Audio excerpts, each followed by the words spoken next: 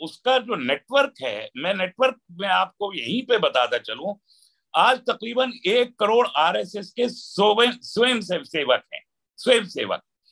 और मुल्क में तकरीबन फिफ्टी एट थाउज़ेंड शाखाएँ हैं पूरे मुल्क में। अब फिफ्टी एट थाउज़ेंड शाखाओं का मतलब आप समझिए कि मुल्क में सात लाख गाँव हैं सात लाख गाँव तो हर दूसरे तीसरे गाँव में एक शाखा मौजूद है और 2014 के बाद से इन शाखाओं की तादाद में तकरीबन डबल का इजाफा हुआ है। मोदी सरकार के आने के बाद से डबल का इजाफा हुआ है इन शाखाओं में। तो ये जो इतना बड़ा नेटवर्क है जिसको आरएसएस के चीफ ने अभी दो साल पहले यहाँ खड़े होके विज्ञान भवन में कहा कि हम तीन दिन में एक फौज उठा सकते हैं।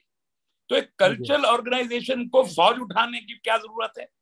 तो जब वो कहते हैं कि हम फौज उठा सकते हैं और किसकी फौज उठा सकते हैं? ये एक करोड़ लोग हैं, जिसमें विश्व हिंदू परिषद एक मिलिट्री ऑर्गेनाइजेशन है, बजरंग दल एक मिनिस्ट्री ऑर्गेनाइजेशन ये सब परिवार में बावन से जायद जो है, बड़ी तंजीमें जो छोटी छोटी अलग है, बावन बड़ी तंजीमें पिचासी हज़ार करोड़ गवर्नमेंट का पैसा जो एनजीओ के नाम पर ये लेते हैं, वो तो इतनी ताकतवर ये ऑर्गेनाइजेशन है कि ये एक करोड़ की आर्मी इस मुल्क में खड़ी कर सकती है।